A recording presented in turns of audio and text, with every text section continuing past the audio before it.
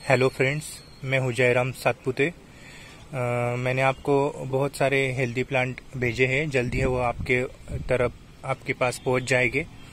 तो उसमें कुछ हार्डी वैरायटी है और कुछ ट्रॉपिकल वैरायटी है। तो हार्डी वैरायटी कैसे प्लांट करनी है, वो हम यहाँ पे देखेंगे। ये टब है, इसमें हम डायरेक्टली मिट्टी डाल के उसमें प्लांटेशन हमने किया है। हार्डी वैरायटी में Colorado Mexicana Siam jasmine Siam amber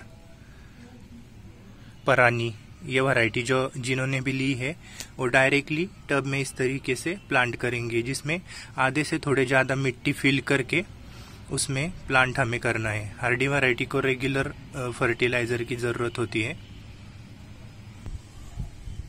अभी आइए हम देखते हैं कि ट्रॉपिकल वैरायटी कैसे प्लांट करनी है।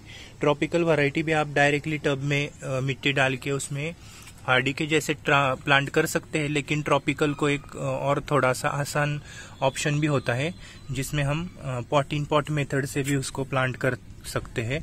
तो उसमें हम टब में एक छोटी कुंडी हमें लेनी है।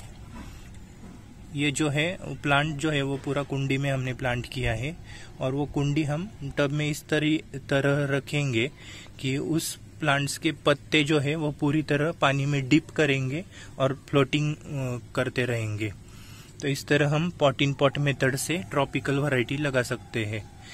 हमें नीचे वाली जो कुंडी है, वो थोड़ी सी मोटी, बड़ी लेनी है, ताकि हम उसके रूट्स जो है, वो आसानी से हेल्दी तरीके से बढ़ते रहेंगे।